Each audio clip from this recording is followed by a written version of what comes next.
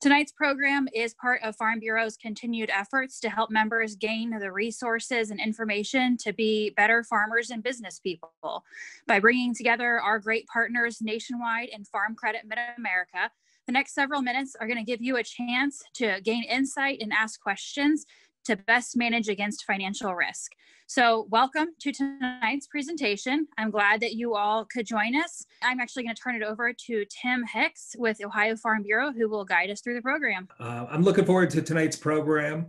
Uh, we've got some uh, great presenters and great speakers uh, folks from Mid-America, Farm Credit Mid-America, and the Hummel Group will be kind of uh, guiding us through and being our subject matter experts. And hopefully you'll get some good information um, that will uh, better prepare you kind of moving forward. So as I mentioned, uh, tonight's program, uh, we're gonna have Lee Heron and Micah Mensing with Farm Credit Mid-America, and they're really gonna set up the kind of the basics of managing financial risk.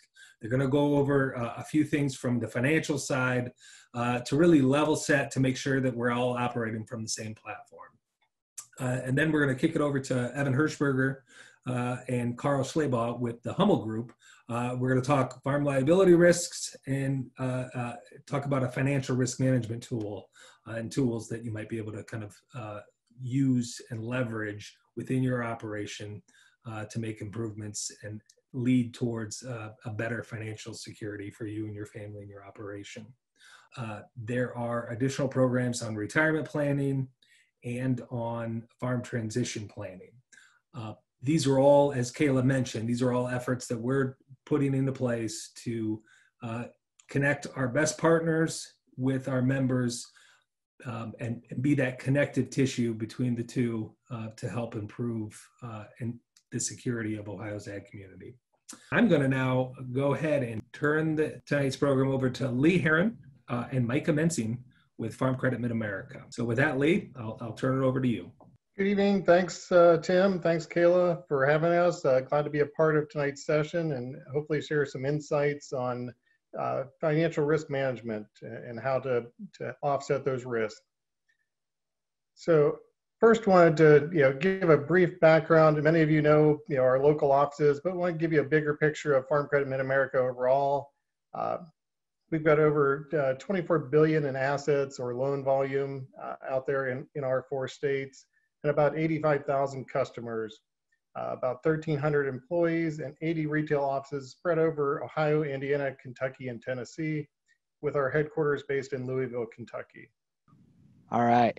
Uh, hello, everyone. I'm Micah Mensing. I'm the Ohio Growing Forward Specialist. Um, and, th- thanks again for having us. Uh, I wanted to tell you a little bit about our Growing Forward program. Growing Forward is our uh, program specifically for young and beginning farmers. So if you're in that range where you're just getting uh, the opportunity to make some of those business decisions on your operation, uh, this program is really designed for you. There's a couple different components, that being our educational benefit of being a part of uh, Growing Forward. Uh, and so we do a lot of seminars and, and, an educational conference where we really break down financials for customers. We have relaxed underwriting standards that then pair with uh, that conference and the loans that are uh, pushed through Growing Forward.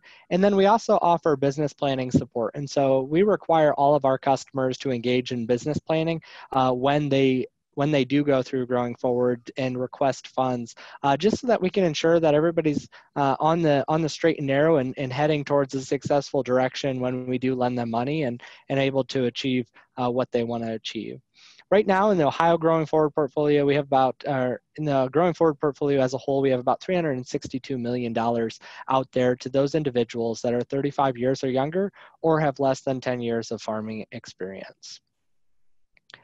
Tonight, we're going to talk about uh, financial risk management and uh, what that looks like from a lender's perspective. And so, as Tim had mentioned, we're going to try to make tonight as interactive as possible. And one of the ways that we can do that is by you all engaging with us. And so, Lee's going to watch the chat box here uh, when I when I'm presenting, and I'm going to do the same for him. So, our very first question is going to be, what do you think the top three causes of default for Farm Credit Mid America customers are?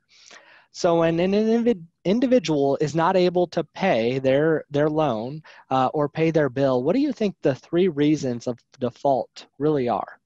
So we, we really have it broken down here into three categories, sudden death or accident, divorce or family dynamics, and inability to withstand market volatility. So everything that you all said really hits it right, the nail right on the, the head, uh, because all three of those are, are are serious risks that happen on the operation. And so tonight, uh, Lee and I are going to talk you through how do you uh, mitigate some of that risk from a financial perspective so that uh, when you go to your lender that you can be confident that your risk is mit- mitigated and also be able to understand uh, what your lender is looking for in, in risk.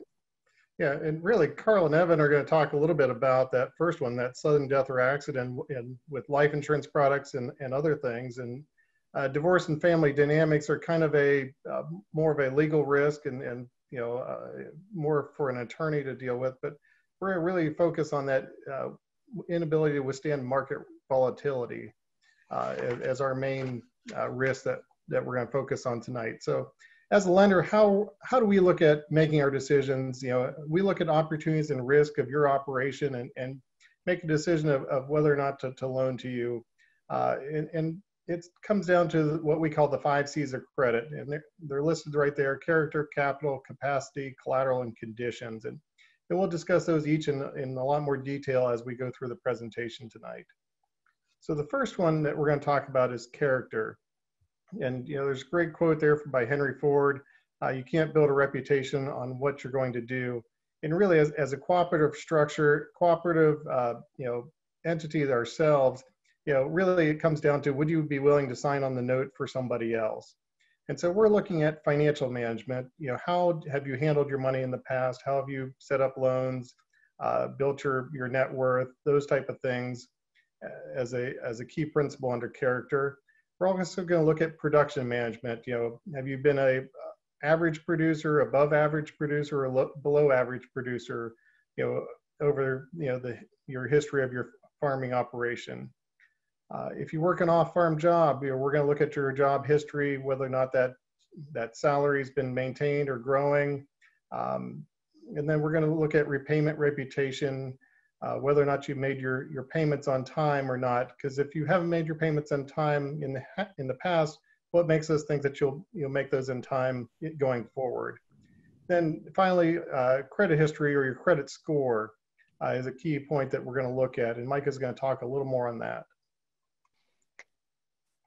Yeah, so your credit score is something that uh, oftentimes we hear about it and we, we know it's this ambiguous number that's out there, but what actually makes up your credit score? And so uh, Lee and I are breaking that down here a little bit more for you. 35% of that is going to be your payment history or how, uh, how, how disciplined are you with paying those bills or those lines of credit that you have out there. 30% is going to be your outstanding credit over your limit. So when we think about exposure, if you have a $5,000 credit card, it is probably best to not expose that credit card all the way to $5,000. We really like to see credit exposures down in the 10, 10 to 20% range and not much more than that. So it's really important to understand what your credit limit is and, and manage that correctly. Another piece of that pie is the length of the relationship. So if you've had a card uh, for for many many years and you don't use it anymore, we wouldn't necessarily encourage you to just uh, to cancel the account completely uh, if it's not causing you any harm. In fact, we would encourage you to just shred the card, uh, keep the account, and uh, build up that length of a relationship that you have with that uh, credit uh, credit company or, or whoever it may be. Then 10% on types of credit and credit inquiries. And so those types of credit is going to be uh, what kind of variety do you have on your credit balance? Do you have a mortgage and credit cards and student loans? Uh, it's really important for the uh, credit associations to know that you've uh, lend money from a variety of organizations and a variety types of credit, and you're reliable on all of those. And then again, that last 10% of credit inquiries is how often are uh, banks or how often are organizations pulling a credit report on you. And so it is important to know that there is a difference in between a hard inquiry and a soft pull uh, and those hard inquiries are really what you want to stay stay away from. Those could be anything from uh, when you're looking to to put a mortgage or to have a mortgage or any of those larger purchases that m- they really might need to get in the weeds of your credit score and and figure out what you have going on Now, is there a perfect score on, on a credit card that we look for and we make our credit decisions off of completely? Absolutely not. Your credit score is your financial GPA, and it tells us how likely you are to default in the next 24 months. But we are a relationship based lender and an income based lender. And so uh, we use this to tell just a little bit of the story uh, of your overall financial picture. And so we really like to see our customers in this 21% range of 670 to 739 in that good area of a credit score. Again, we will not make a credit decision simply based on this, but it is uh, it is important that that you're continuing to monitor your credit score and, and keeping yourself afloat uh, via that. Now, there are a couple resources. You might be thinking, Mike, I don't even know where to get my credit score. And so we have a couple resources outlined here. Um, annualcreditreport.com allows you to pull a report. I believe it is once a year for free without it affecting your credit bureau. Uh, your credit card company, a lot of the companies out there are offering that as a service now. Credit Karma and then also Mint. Mint is probably one of my favorites. It gives me a weekly report on my credit score uh, and also allows me to track my budgets and uh, and all of my expenses. And so um, those are some really great resources. And if you have questions about any of those, uh, I'd be happy to to answer them. Next thing we're going to talk about is capital. And so capital is, is really focusing on your net worth or, or the, the wealth that you've built in your your personal balance sheet or your your your company that you're running, your farm. Uh, and so what does your balance sheet tell us about your ability to bear risk? And so we're looking at some ratios there, working capital, current ratio, and solvency. And we'll get into more detail as we walk through this. So, you know, first, you know, first thing is, yeah, we're going to look at your balance sheet and or financial statement. And I know a lot of times people, you know, we'll ask them for a balance sheet or financial statement and, and they just freeze up and they just don't know what, what to provide, uh, what is it, or they feel like it's going to be really hard to do. And that's, you know, a great thing to, to walk through the first time with your financial officer and kind of help, they can help you build that balance sheet. But uh, we're going to talk through some pieces of that balance sheet here tonight as well. But what is it? it it's really a snapshot of your financial position at one point in time. So it's going to be different from today to tomorrow or next week or, or a year from now. Uh, but it, it's really this point in time today of, of what is your current financial position and how much wealth has been accrued. It, it's a great tracking mechanism, not only for us, but, but for you personally and for your business, uh, because you can say, okay, I can, I'll do a year end balance sheet, put it together. My net worth is $100,000 today. Uh, next year, at, at the end of the year, you want it to be greater than that. And, and it can, you know, if you do it again, it's going to show you how much you've grown that your financial position over that point in time. So it's a great way to track your financials over time, uh, year over year. So, you know, as we look at the balance sheet, it's really divided into quadrants. You know, the assets are going to be on the left, the liabilities are on, on the right, and assets are, are just another way to say, what is it that you own? So, you know, your checking accounts, savings accounts, um, you know, equipment, real estate, those type of things are, are your assets. Whether or not you have debt on them or not, we want to show them there as a current asset or a non-current asset. And then liabilities are what you owe, the debts that you have uh, for credit cards and, and equipment payments and, and real estate payments, those type of things uh, would be on the right hand side. And then it's divided into current versus non-current, so top and bottom. So current assets are things that you're going to turn into cash or you typically turn into cash within the next 12 months. So that would be grain on hand, um, market livestock, you know, accounts receivable, cash and, and checking accounts, those type of things you know, that are easily turned into cash and would typically be turned into cash within that next 12 months. While non-current assets would be things like equipment and, and real estate, uh, things that your retirement accounts, things that you're going to hold on to for a much longer period of time. And same thing on the liability side. Current liabilities would be those items that you're going to have to pay within the next 12 months. So that's going to be your credit cards, uh, your operating loan, uh, things like that that would be more of a short-term debt, uh, while non-current liabilities are equipment payments, real estate loans, uh, those longer term, anything more than a year uh, term left on those those debts. So that leads us to our next question here is, uh, where would I put credit card debt on a balance sheet? Current liability, absolutely. Y'all are y'all are so smart. Uh, so again, that credit card debt is going to be hopefully revolved here within uh, the next 12 months. So so that is correct. We're going to want to see that in that top right quadrant under current liabilities.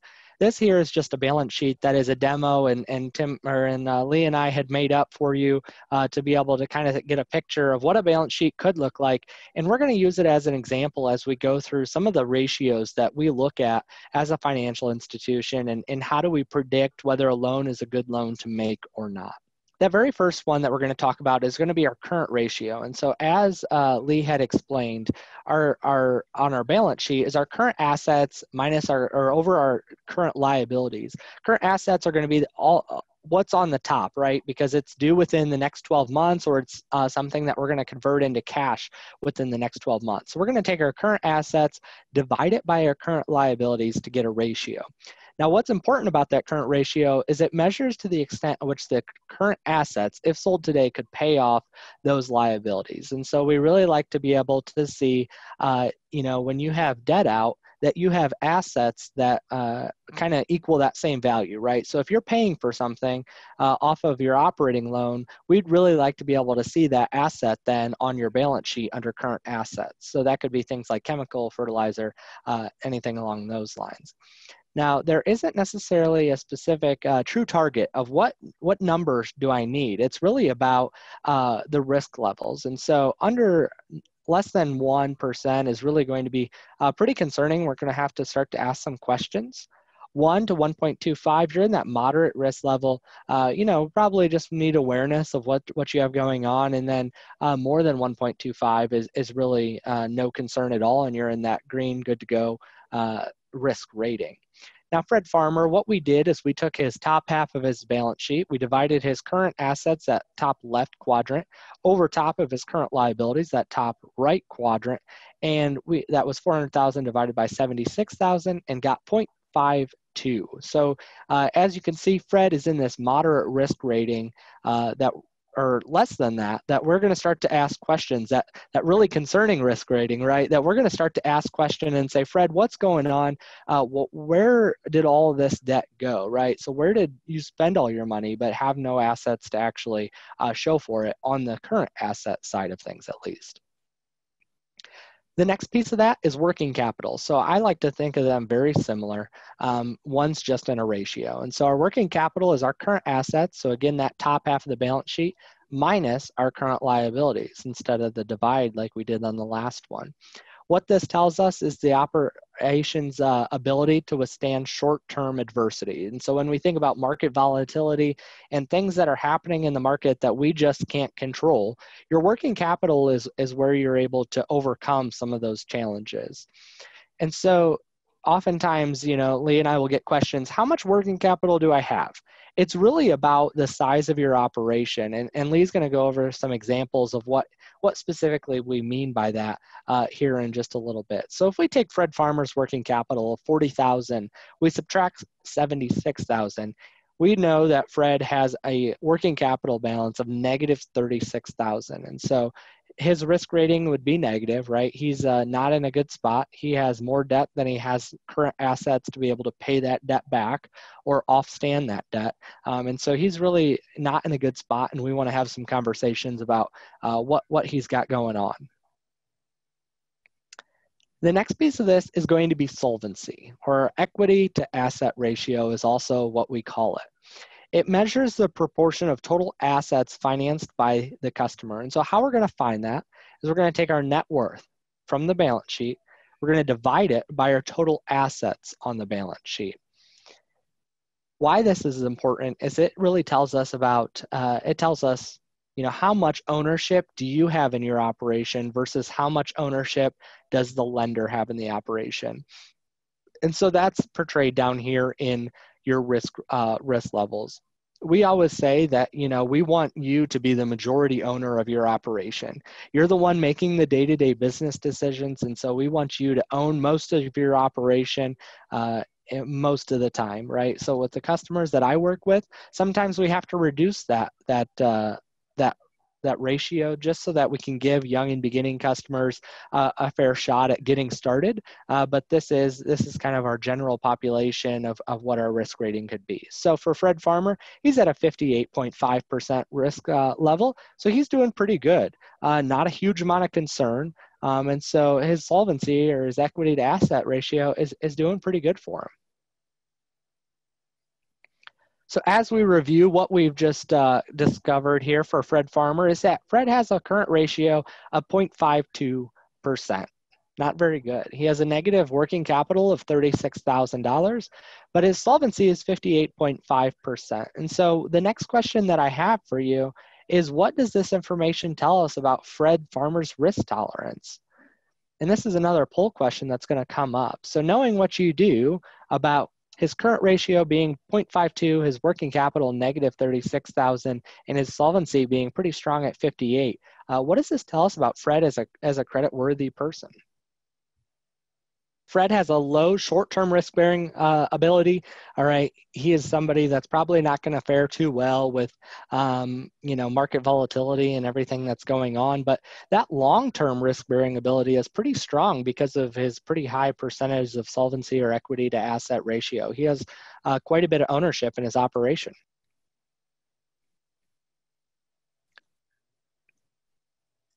Yeah, so some of the questions we might be asking Fred based on this information is, you know, why is his line of credit maxed out? Did he go buy a, a piece of equipment uh, with his operating line and we just need to term it out on, onto a longer term? Uh, you know, did he did he have a bad crop year last year and that's what drove it up or the last couple years?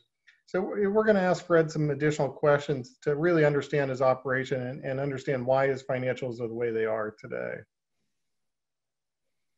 So next we're going to look at capacity and really capacity is, is looking at your earnings ratios, uh, look at your earnings statement and your size and scale uh, of your operation. So the, the first ratio we're going to look at under, under capacity is liquidity. And so we're going to look at uh, that working capital that, that Micah just talked about there and divided by that value of farm production.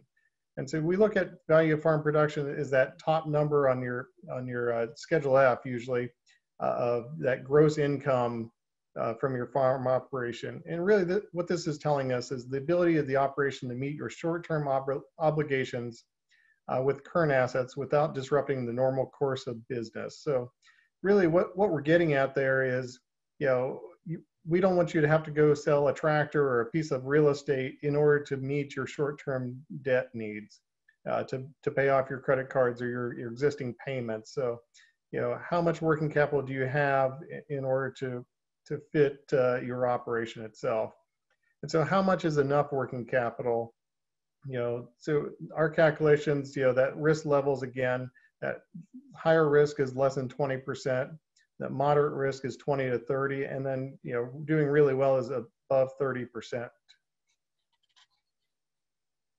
So some examples of that. So let's say you have $400,000 um, and you have a have grain sales of 1.5 million dollars, that equate to 27% liquidity.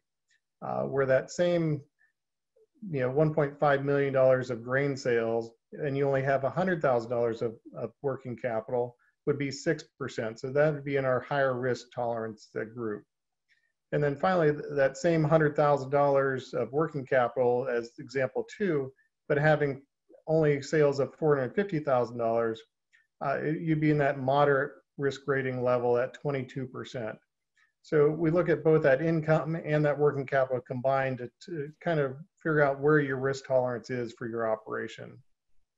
And I think it's so important that you know, Lee and I stress to you that it is so different based on every operation, right? And so you really just have to sit down, do that size and scale of your operation, understand the value of farm production from those taxes uh, to really figure out where you should be, uh, where your quote unquote comfort level should be with how much do you have uh, build up in the savings or your rainy day fund, if you will.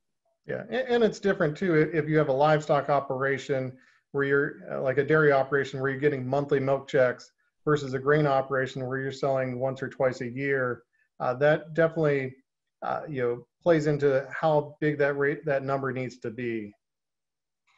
So the next ratio we're going to look at is the debt coverage ratio, and we like to call that their profitability. And it's really measuring the ability of the operation to cover all your expenses that are that are coming out of the operation. So your operating expenses, the taxes, uh, family living expense, which you need to live on because you, you do need to live off, off the income as well, and then your principal debt payments as well. So it's a complex calculation. Uh, we're using numbers from the income statement to determine that repayment capacity there. So, you know, really what we're getting at is for every dollar of debt do I that I have, how much extra do I have to cover it? You know, we want to make sure that that you have enough income to cover those debt payments. So we're going to take that that total net income off your Schedule F. Uh, we're going to subtract out you know the cost of family living. Uh, we're going to take out taxes for income taxes because those need to be paid as well. We're going to add back depreciation because that's a non-cash expense, and then adding back term interest payments uh, because we're going to take those out on the bottom. So and then we're going to divide that number that we get, that repayment number, and divide it by term interest and principal demand. So that, that's really your total payment amount. So if you have uh, $150,000 of income, uh, after you add back family, or you take out family living and income taxes and add back depreciation and interest, uh, and that number comes up 150,000, and your term debt payments are 100,000, you'd be at that 1.5 risk level so that you're doing a very good job. If, if both those numbers were the same, that $100,000 and you have $100,000 of payments, that you know is enough for this year's payment. But if we go back to those three main reasons of default, being able to withstand that market volatility is really key. So yeah, this year you might have enough to cover those payments. But what happens if next year there's a drought and your crops don't do as well or prices fall, um, you know, then then you're having to dig into your working capital or or selling some assets in order to make your payments. And we don't want you to do that. We want to make sure you have a little extra cushion there to, to cover your payments. A couple other points on capacity. You know, there is a difference between what your taxes show and what your real income is, and we understand that. We know that uh, most people want to mitigate uh, uh, taxable income. They don't want to pay more taxes than they have to. Uh, you may uh, prepay uh, for feed or, or seed at year end in order to bulk up your expenses and reduce that taxable income. Or you may hold grain over to next year so you don't have as much income coming in. Uh, and that's really where it comes down to, you know, like we talked about earlier, having those year end balance sheets uh, put together because we can utilize those year-end balance sheets and look at it from one year to the next to know how much money did you really make, you know, with your tax return, um, you know, in order to, to fully understand your operation. Um, so, you know, and a couple other points in, in on capacity as well. If you've got multiple businesses, make sure you're breaking those down by enterprise. Uh, you know, you may have a grain operation and then a cattle operation uh, one might be making tons of money and the other one might be losing some money, uh, but overall it looks like you're making money. And so, uh, you know, you could be making more money if you drop that operation that's losing money.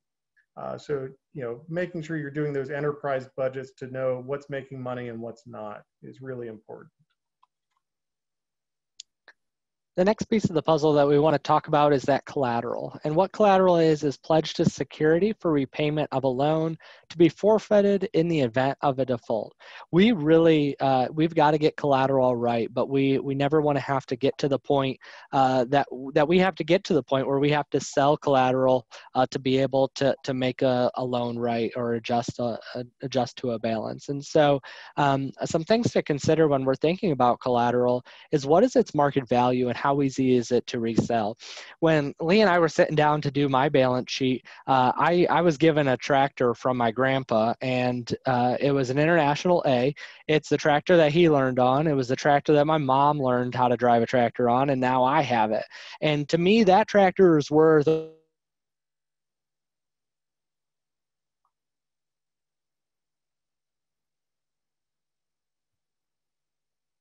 Micah, we lost you. It would need to be resold. Micah, can you go back Um, there? the- You, you stopped there for a second. Uh, You were talking about the tractor uh, that you've had and your dad had and your grand, grandfather had. That's you able- Stopped. you able to hear me, Lee? Yes. All right. Uh, I apologize. And so, what's really important is is that tractor is worth so much to me because it has a personal keepsake to it, right? Uh, but that's not necessarily what the true value of of that piece of equipment could be. And so, when you're sitting down and thinking through uh, the different things that you have on your operation that you may use as collateral, it's really important to think about what that true market value is and how easy it is uh, to resell. And so, if you uh, get into a situation where you're talking with Farm Credit about a collateral value, uh, it's not it's not something that we're trying to insult you by and say it's not actually worth that. It's just sometimes we do have to discount uh, different pieces of equipment uh, to be able to to make sure that it is able to resell and we can get a realistic value out of it.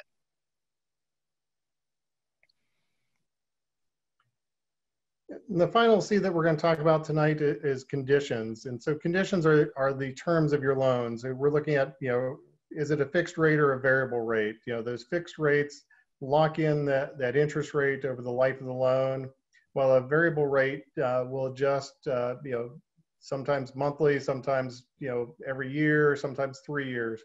Uh, so, you know, there, are- there are times where if we're in a really low interest rate environment, it'd be a great idea to, to lock in that interest rate for the next you know 25 years uh, because that takes out the risk of those prices that interest rate going up and uh, you having to pay more interest on that loan on, on higher interest rate periods uh, the variable rate might be a great idea uh, where you, you get a low little lower rate um, and and hope that those rates come down over time so uh, we usually like a like to recommend you know a mixture of those you know for most operations.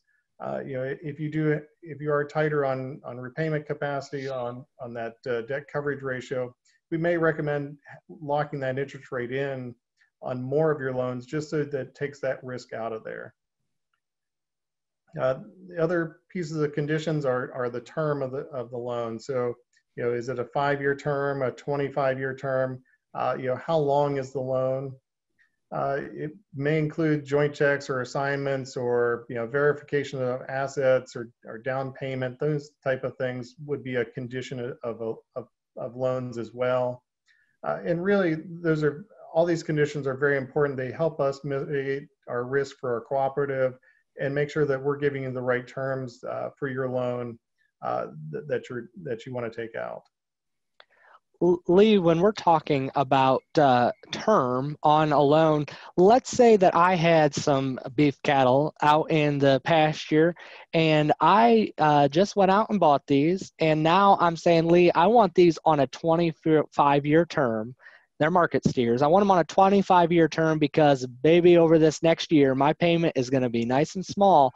And then I'll be able to, to get so much more cash out of them because I'm going to be making such a small payment. What do you think about that?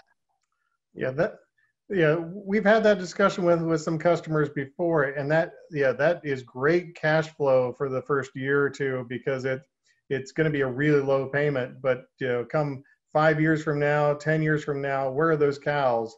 Those are long gone typically, and now you're still making that you know 20 or 20 you know 15 year payment left while there is no cattle around. So you know we would not uh, not allow that you know from our side of things to to do a 25 year for cattle yeah we'd limit that typically you know for breeding livestock to a five typically a five year term on those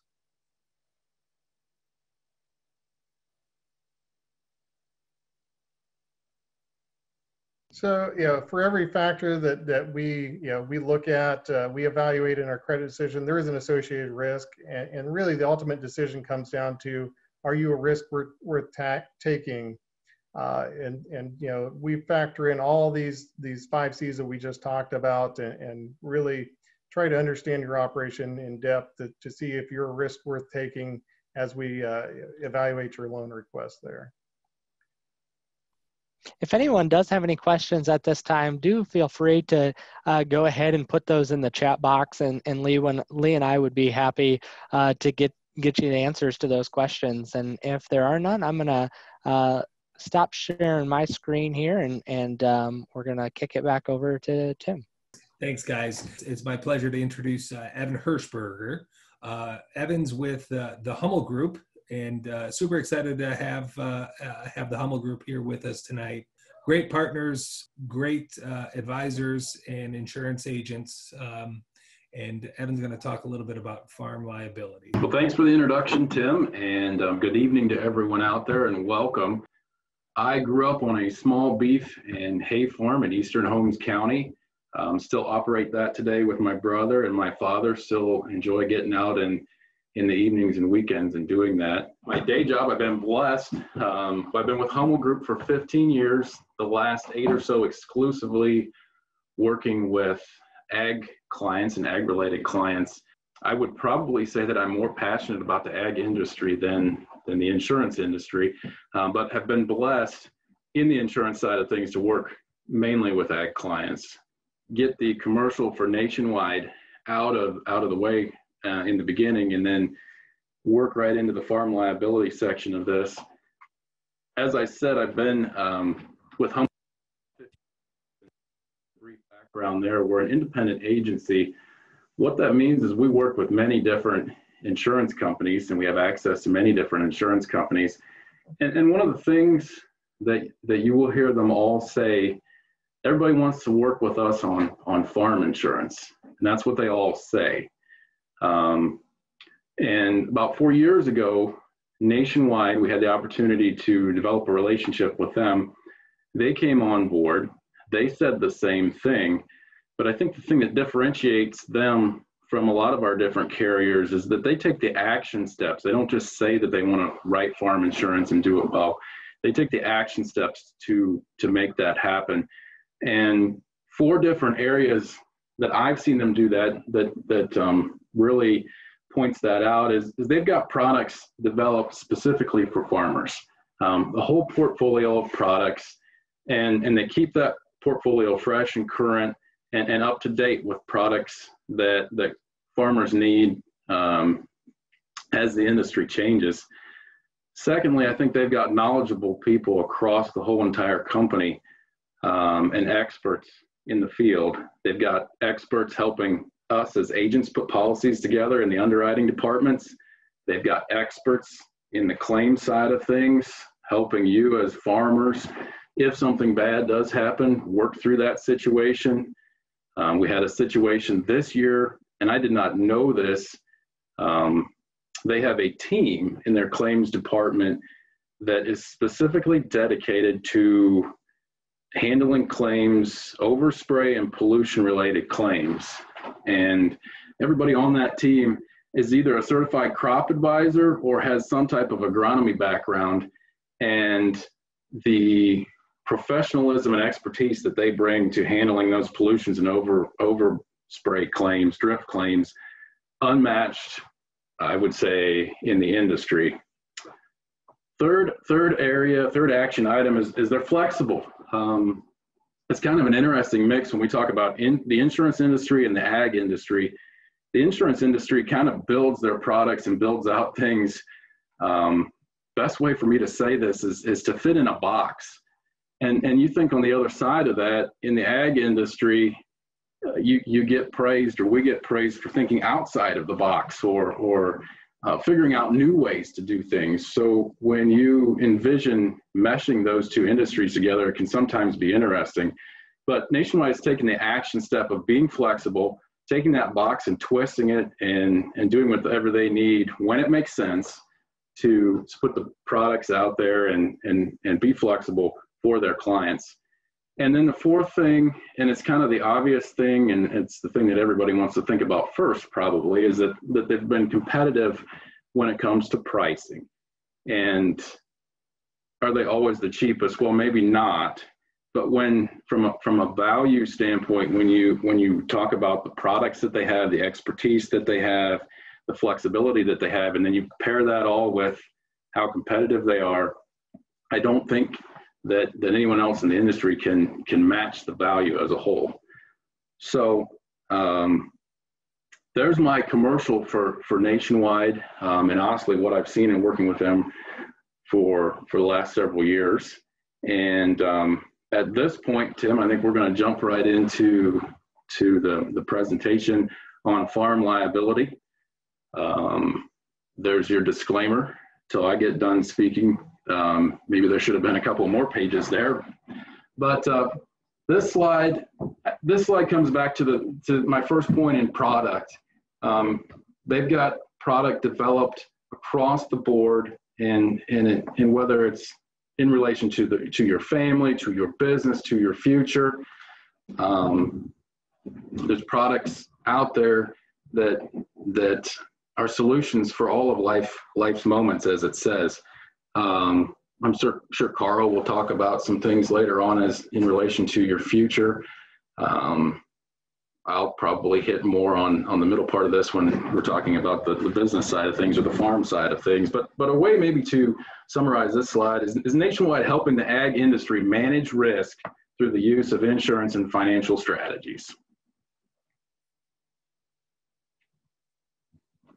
This here just kind of gives you an overview of a base farm policy. One thing that really struck me this this week or the last several weeks as I was looking at this, um, I think in the industry and, and, and, as clients, we focus so much on the first couple items, whether whether it be your your farm equipment coverage, your building coverage, and sometimes right or wrong, we gloss over the, the farm liability section. That's where we're going to spend our time this evening.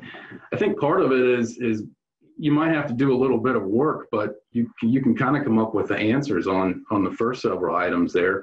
You might have to to call a builder and and have a conversation about well, what would it cost to replace my home or replace my farm structures if something major happened you might have to get out on tractor house or call your implement dealer and, and talk about well what, what's my equipment really worth? But at the end of the day on those items you can usually get dialed into a number and know and, and develop an insurance program for those items. Sometimes when it comes to liability it's it's not quite that easy. And, and even if you would ask me now from a from a farm liability what's enough coverage? And and sometimes even as agents we skirt we skirt or, or avoid the answering that question. Um, the answer that, that i would give you is is buy what you can for, afford and then maybe buy a little bit more. Um, i would say from from an advisory standpoint we we try to look at or, or get clients to look at net worth um, from an asset side of things and at least have in that that amount of liability out there. Um, I, I, will plug at this moment li uh, liability and umbrella policies. And, and if you're on the call and, and you don't know what an umbrella policy is, or, or you haven't talked with your agent about it, um, you haven't looked at it, reviewed it, I would say that is something to definitely put on the to-do list. Um, get with your agent, have an on your side review, ask them about liability coverage. If nothing else, talk about umbrella coverage and, and price it out. Um, liability coverage, just a real big little little overview here. We're going to spend most of the, time on bodily injury, bodily injury and property damage. There are some other pieces in it. Um, there's defense coverage and and some other things, um, but we're going to spend time tonight on bodily injury and property damage. Four main categories. Um, they're outlined here. There's premises liability, there's operations liability, pollution liability, and product liability. Premises liability, fairly straightforward. It has to do with um, with your property and, and, and things that could um, happen on your property where someone sustains an injury or damage. Um, operations liability, it has to do with, um, could, could also happen on your property, but it has to do more with operations, um, injuries, property damage relating to you operating the farm. We'll get into specifics here in a minute. Product liability, um, damage or injury to someone through the use or, or maybe eating one of your products, probably more so from the farm side on, on the actual eating of the product. Pollution liability, um, this one here talks about the escape of pollutants directly from your farm or ranch. There's many different categories that go beyond that in the pollution side of things. I think right along with umbrella coverage is one of the most important things um, today that is probably uh, undersold on and, and not talked about enough. We'll get into it a little bit deeper here in a minute. Um, premises liability, again, has to do on your farm or ranch property, fairly straightforward. Um, the middle part of this slide talks about the, the level of care um, depending on what type of visitor your is at your property or at your farm. And, and it kind of comes down to the common sense principle. I would say that anyone, any friends or, or business people that you have out, you're telling them if there's hazards about your property um, and alerting them obviously if somebody's trespassing, that's not, you don't have the, the responsibility to, to maybe let them know about some of the hazards on your property. Um, areas of concern, slip and fall, swimming pools, things that can happen on the property. Dog bite is one that, that maybe the general public glosses over a little bit, but if you talk to claims, I think from a severity and frequency standpoint, it's one of the most common and, and costly claims that, um, that comes up and and things can happen accidents can happen um, we had an incident with a dog bite that i don't think anybody did anything wrong. It was an incident where there was a gathering at a farm. Um, the gathering went late into the evening. There was a black lab older black lab dog that had a loss of hearing that um, that was the owner's dog. And at the end of the night one of the one of the visitors one of the friends was leaving. Accident that was laying in the front yard near the driveway, and Black Lab was sound asleep, can't hear very well, obviously disoriented. And I think when the incident happened, the dog thought it was being attacked, and its natural instinct was to bite what was ever what ever was attacking it. Um, ended up in some facial reconstruction surgery, some plastic surgery, and, and very quickly, you can see the importance of premise liability in that situation out of an incident that that farmer probably never thought would occur. The, the dog wasn't provoked, never had a history, um, but accidents happen. And that's one that I like. I don't really like it, but I guess it's, it's an example of a true accident taking place. Agritourism is one that we, we throw that word out there and that, that's an automatic word for an on your side review anything with that going on on on your premise you need to to talk to your to your agent get in touch with them. Most likely a base farm liability policy isn't going to address some of the business exposures and commercial exposures that um, that go with the typical agritourism or agritainment risk. Operations um, again fairly straightforward. Most common claims out there probably have to deal with with equipment um, in the road and and livestock in the road. And, and this is something that the base farm policy addresses. Not only will it cover um, some of the base things on your property, but it will follow you um, in your operations on the road um, if cattle get out, like I said, and, and um, with equipment on the road. Product liability, um, some of the basic things that you might do off of a farm would, would be included. Um, a common example that I've seen recently, if, if you're wholesaling um, sweet corn, or if, if you're selling sweet corn that's obviously not processed direct from the farm, it's probably something that the base policy is going to address. You do anything different beyond that, and again, I think it generates a conversation with, with your nationwide agent or with your agent um, to talk about exactly what you're doing in adding the proper coverages or the proper endorsements and making sure you're covered, whether it be farm stands, whether you're processing and, and selling jellies or, or apple butter, things like that. just making sure that, that you have the, the, um, the correct product liability. Got a good example. Um, Nationwide helped us on this account where we have a dairy in the state of Ohio that, that um, makes their own cheese. And that is something that is definitely outside of the base policy. Um, nationwide, one of those characteristics that I talked about early was that they were that they're flexible.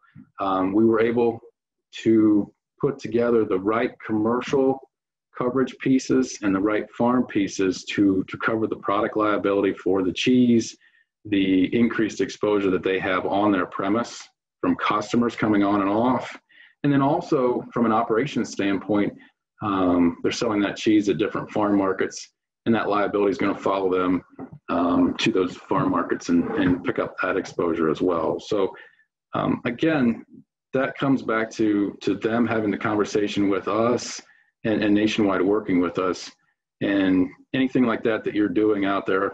I would say just making make sure that you're having conversations with with your agent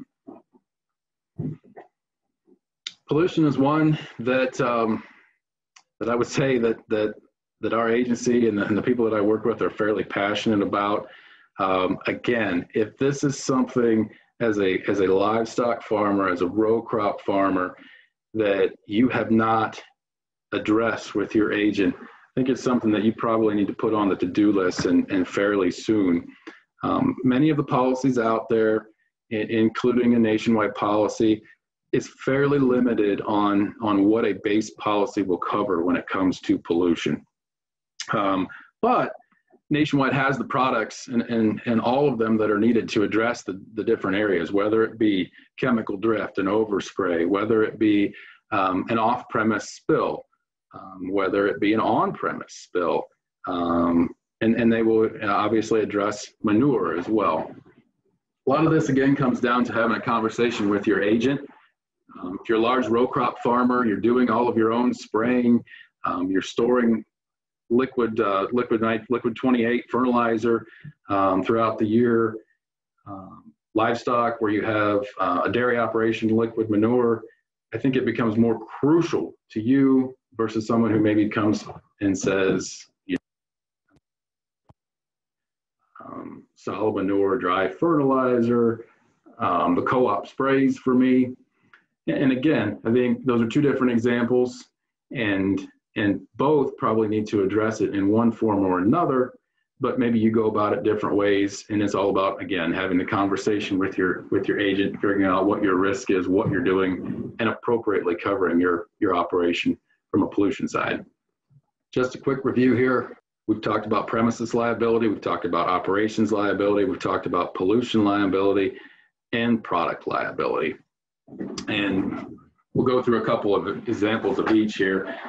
Um, there is a video that goes with that last slide that does not um, work well with, with the technology that we're using this evening. So I did watch it earlier and, and the general idea there is, is that a nationwide agent came out and addressed the shortcomings in the pollution coverage for this dairy operation that you see photoed here.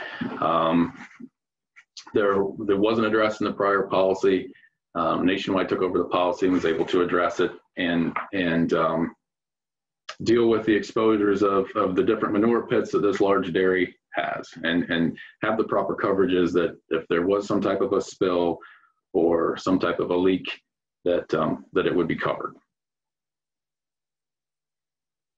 So just a couple of reminders there. The base policy provides a limited coverage, um, and but you can you can there's a full line of products to address that, and specific to to the different operations. And, and main point there again, talk to your agent.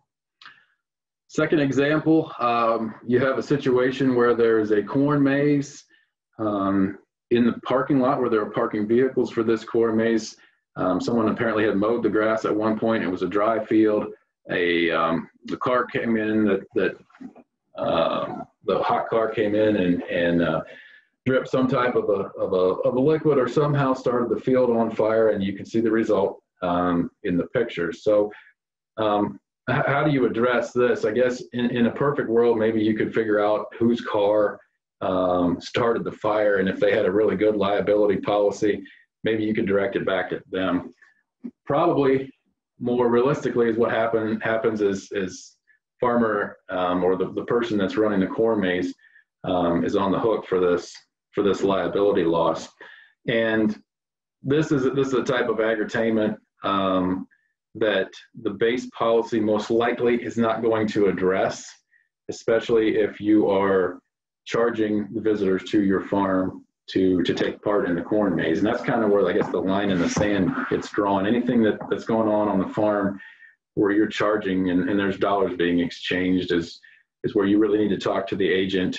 I would talk to your agent either way, but you really need to talk to your agent, make sure you have the, the proper coverages.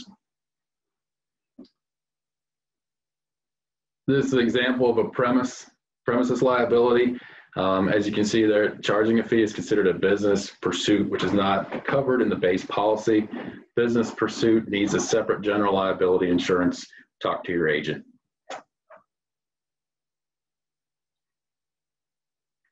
Um, this this example I don't necessarily like all that well, but we'll talk about it. Um, it the, the question at the top of the screen is: Is this a slow moving vehicle? And and I don't know if um, anybody is picking up on on what they're trying to say with that. But this is this is a tractor that has speared a round bale and is going down the road, and there's not a not a visible um, SMV or slow moving vehicle sign. Um, and, and that's what they're getting at. Um, it's a bad example, I think, because probably many people on the call have done this. I myself have done this. Um, and, and I don't think you're going to find many farmers out there that will slap an SMV on, on a round bale as they're going down the road. Um, but again, the idea is, is the importance of liability coverage. Someone hits you in the rear, uh, no matter, no matter, I guess, what, what you think about that personally, um, if you don't have visible SMV, you might be liable for that type of an accident. And so, um, uh, I, this this is just another example of where liability can be important. Um, an accident can happen so quick, and, and you may you may think nothing will nothing like that will ever happen. Happen so fast. Um, kind of giving the, the answer to this one away as far as what what the um, what the example is, but this is something that's off premise that would be more of an operations type exposure as you're on the road with equipment.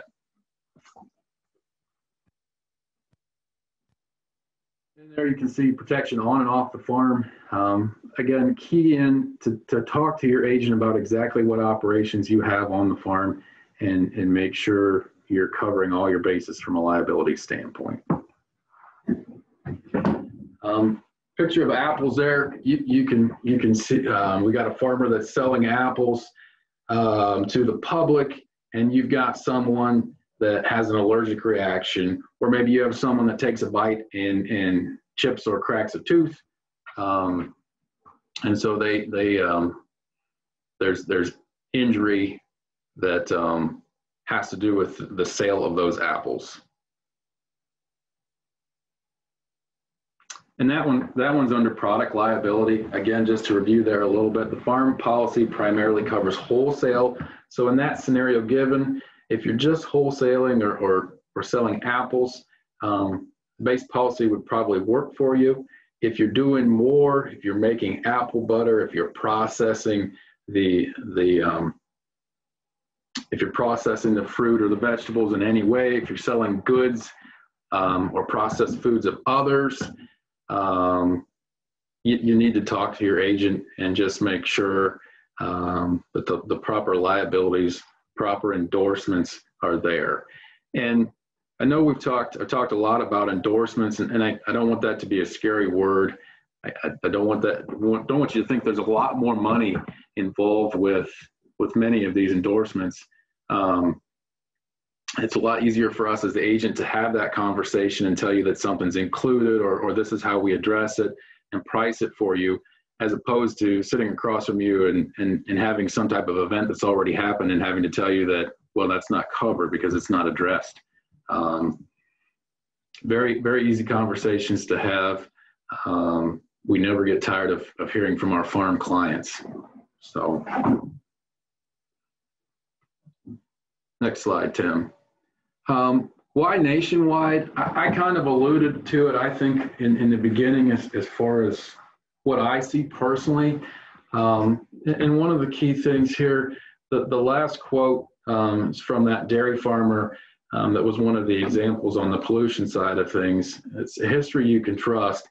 Nationwide seems to understand our business right from the top. There's people on the board of directors from Nationwide that are farmers themselves and understand that there's risks involved that you have to protect yourself. I think that's the key with Nationwide is from the top down. They have people that are passionate about agriculture. They have people on the board that that are farmers, and I think that is something that they will will continue to do over time, and, and they really key in, and, and that's important to them. Next slide, Tim. Um, just a couple of key takeaways to finish up. Um, you know, accidents happen. Um, even even a lot of people think, well, that'll never happen to me. They happen so fast. They happen in areas where where you never anticipate that they would happen. Um, make sure you're covered. Um, and, and then the other key thing here is don't assume everything is covered. If you do something different, if you do something new on the farm, um, farm or ranch or in your ag industry, make sure you have that conversation. Make sure you have that on your side review with your agent to to address um, key changes or, or different operations. Um, like I said, it's always easier to have that conversation on the front side than than having to deliver back news on on the back side. Um, share stories with with others. I, you know, I, I, drive around the state of Ohio. I, I look at policies. Um, there are so many farmers out there on the insurance side of things, whether it be liability and property, or property that that need help. Um, you know, there there are good agents out there. Um, and I know insurance isn't always the thing that comes up when you're out for dinner or or um, out for drinks, but when when the opportunity presents itself, um, if you have a good agent, share that with other farmers. If if you know of a good nationwide agent, share that with farmers. If you don't have access to anyone else, I'll gladly talk with you. And I know Tim will share our information later. But um, you know, there are people out there in the insurance industry that care about the ag industry, and and we'd be glad to. We love working with farmers. Glad to help. Hey, thanks so much, Evan. Uh, I thought that was I thought it was great. Um, you know, the topic of uh, farm liability coverage and insurance is not always the most sexy, you know, uh, piece of information that folks want to talk about. But boy, is it important to have the right coverage and the right policy. If I caught a theme in the in the information that you shared, uh, among several, it's talk talk to your agent uh, and and work with an agent that you trust and that knows your knows your business, uh, like folks at Hummel and, and others in there. So I really appreciate you uh, taking that over. So Carl, uh, go ahead and, and, and, bring us home. Well, again, my name is Carl Slabaugh with uh, the Hummel Group um, as well. Been with them for 23 years now. Um, much like Evan, I grew up on a small dairy farm in Holmes County. Uh, probably within 10 miles of Evan, actually. Um, known him for a long time. Um, unlike him, I'm not as active on the farm anymore. I do wish, however, that I could be out on beautiful days at times, sitting on the tractor mowing hay all day like I used to growing up. So um, I still enjoy that, at least dreaming about it uh, in that sense. But um, want to talk a little bit tonight about life insurance. Um, life insurance is a financial tool. Um, Micah and Lee alluded to it earlier tonight as well. Um, life insurance is not the most fun topic uh, to talk about. People probably the one of the most hesitant discussions people have. My wife hates talking about uh, life insurance. However, it's a very important piece of your financial plan, and it's and it's, it's the, the the key to that is that it protects what matters most to you, and that's your family. Um, you can never replace an individual that passes away, um, but you can at least have some tools that help provide some financial support in the event of an untimely death. Uh, so, um, you know, as Evan mentioned, we are an independent agency. We represent a number of companies. Um, as Evan has done, he's on the ag side. I, I, focus mostly on the financial side, and we work with a lot of insurance companies. However, with Nationwide, how they separate themselves um, is that not only do they have those products, but they have that desire to be connected with the ag community as well. And one of those uh, is not just the products themselves, but they also have a program that's called Land is Your Legacy um, that's developed to help transition uh, plan for farmers. And I'll talk a little bit about more of that later, but they put that extra effort into not just providing products, but helping clients understand how to use those products properly in their plan. Okay. Overview, what we're going to talk about a little bit. Um, obviously, life changes, um, your needs change. Uh, in relation to life insurance, we'll, we'll talk about some scenarios and steps of, stages of where that takes place. And then also just talk, talk about what the types of life insurance are that are out there. What's the right fit for you? Whoops, sorry.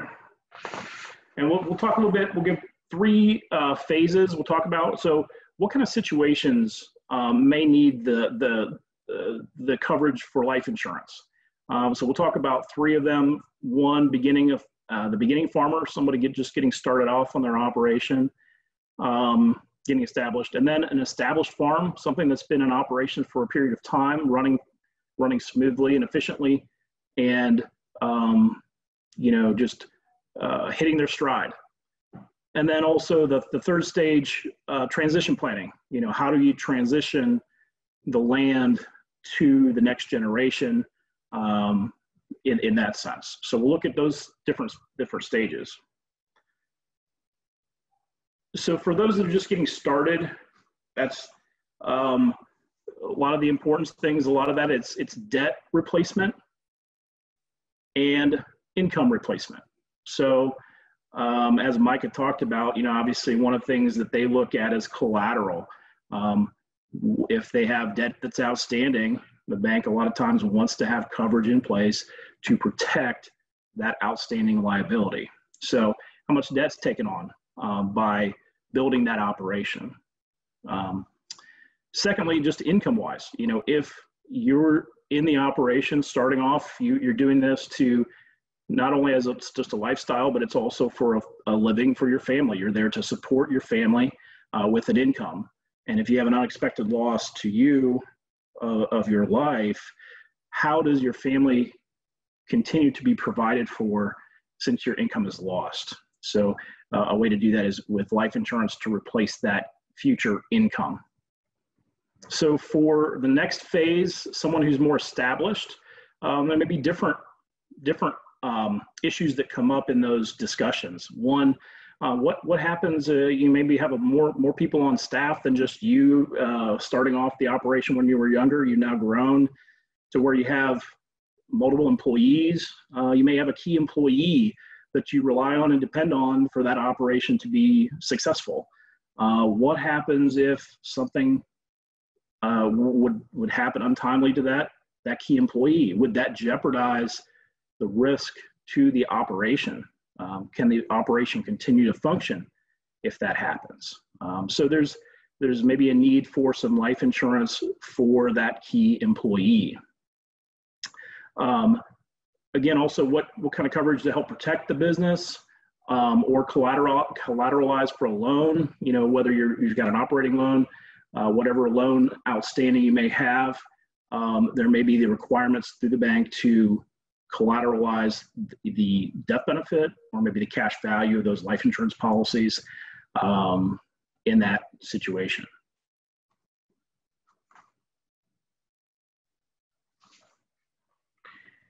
And then the, the third phase is, is those that are transitioning. So you coming to uh, their, you know, their, their later stages and they're, they're passing on the enterprise to the next generation. So how does that happen efficiently?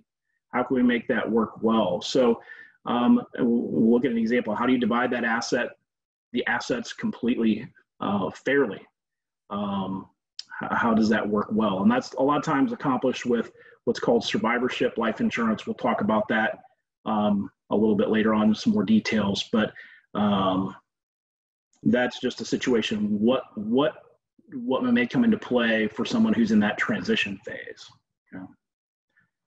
And kind of, you know, how does life insurance also work for any any stage there too? One of the things that's also um, that's also becoming more popular is that life insurance is being incorporated with long-term care. So it's a kind of a hybrid approach. So whether it's coverage where you don't just necessarily have to pass away, it's if you need long-term care that also pays out a benefit for that as well. So there are circumstances where medical costs can incur large unexpected uh, bills to a farm or an individual and how does that impact your financial future down the road so some of those uh, some of those coverages also include some long-term care uh, features in that and that's some some issues to address at that point one thing that's for certain is that we never get any younger and most times as we get older our health doesn't improve uh, down the road. We usually uh, our health declines. Um, so obviously the younger you are and the healthier you are the better the insurance costs are in in all those scenarios with life insurance and and uh, long-term care so we're going to dig into the details a little bit about the different types of, of, of life insurance um, the first one that you've heard of is, is probably term life insurance um, oops, sorry term life insurance is very simple um, the, the, the, it's it's a use it or lose it type of policy, right? Um, I, I call it an if policy. If you die, the company pays the benefit, and if that happens within the term or time frame of that coverage, then that is paid out. Okay, so that often is is a, a term period from 10, 15, 20, up to 30 years uh, that that policy is in place. So if you pass away during that time frame, the benefit is paid. If you you you don't pass away, then that's lost. Um, it's kind of like renting uh, a policy. Um, the benefits to that obviously is that there is some flexibility. Um, you typically have lower costs to that because the insurance company is only on the hook if you pass away. So not all the policies pay out so it spreads the cost and keeps the cost lower. Um, one advantage to term insurance is a lot of times there's a feature within those policies that allow you the opportunity to convert that to a permanent policy later down the road. So it's kind of a backdoor fail-safe option to continue later on. Um, when you get term insurance, typically you do that when you're younger. You, you, you, when that policy is locked in place, you qualify at a certain health class.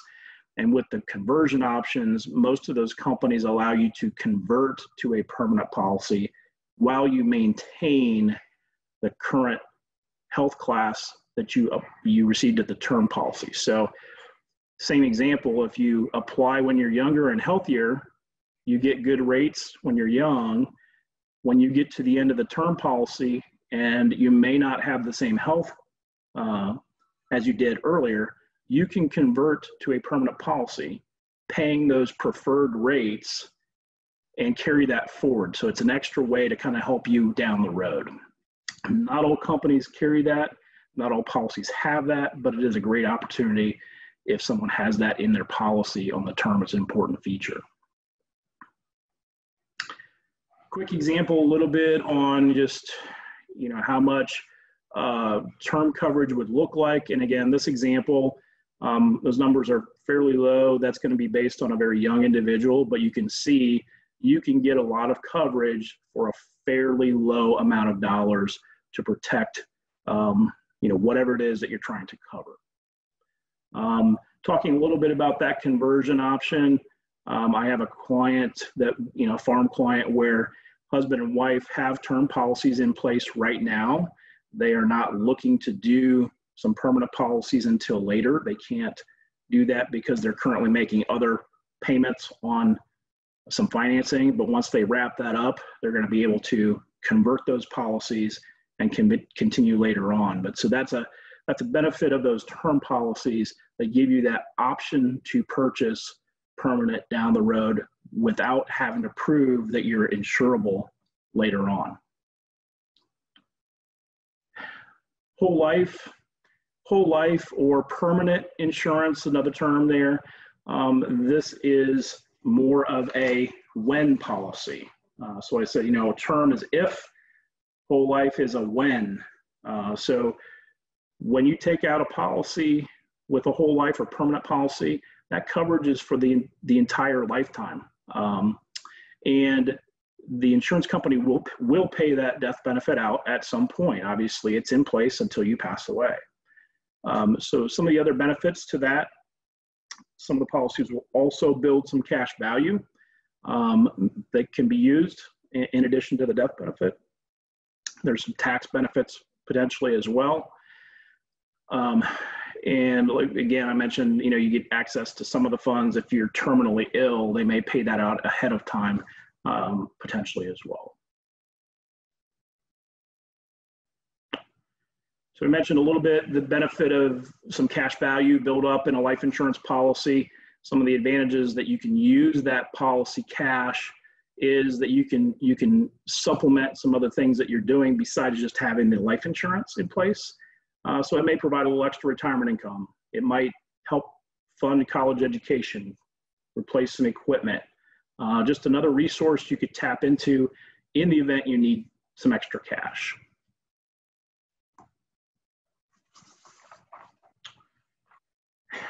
Long-term care.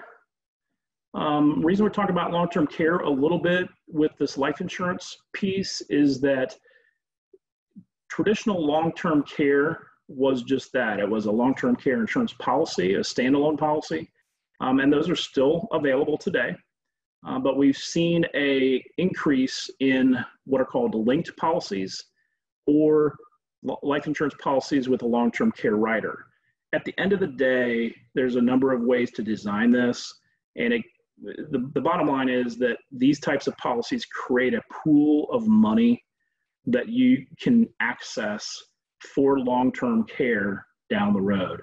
And there's some different structural designs and, and, you know, but at the end of the day, it's, there's dollars that can be leveraged to create a benefit to help pay for long-term care um, benefits. If they're not used for long-term care, then would be passed on as a death benefit to uh, the beneficiaries.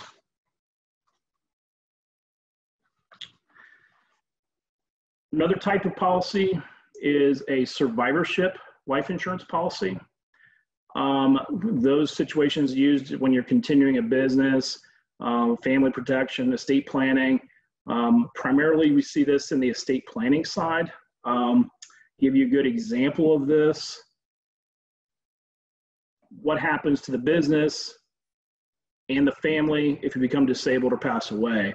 So this is a good example, and this is maybe common, uh, but you have for example, mom and dad, call them Joe and Sally, um, that have a survivorship life insurance policy. The survivorship means when both people pass away. So both people have to pass before the insurance company pays out the benefit. But in the event of that, um, the insurance benefit is paid out. The, the benefit in the scenario that's exam- as this example here is this may be a situation where you may have three kids um, that are of the of the parents and only one of them may be actively involved in the business so junior on the right hand side there may be getting the, the the real estate or the farm and that's his portion of the estate that he receives from mom and dad um, the other two kids on the left hand side may not be actively involved in the business they may be receiving um, the life insurance benefits to help balance the estate so that that it is it is distributed fairly and equitably to every all the the parties involved in that case. That's just one good example of when a second to die or survivorship policy is used. Looking at needs for life insurance, I mean, the biggest thing is obviously get started, you know, review your existing coverage. um, I, the main thing I tell people is like, what what is the purpose? What what do you want your insurance to accomplish? Um, if if you're looking to cover outstanding debt, you know, a mortgage, anything that's outstanding from a liability standpoint, term insurance works very well because it matches up with the term of the loan. And a lot of times the banks may require some collateral with that, or just ask that you have life insurance in place. Um, that's a key starting point. And primarily say it's important to have the right amount of coverage, not necessarily the type. No one ever asks what type of insurance we the, the, uh, a client had if they've passed away. They just ask, did they have life insurance? So it's not necessarily the type that makes it any better. It's if you have it in place.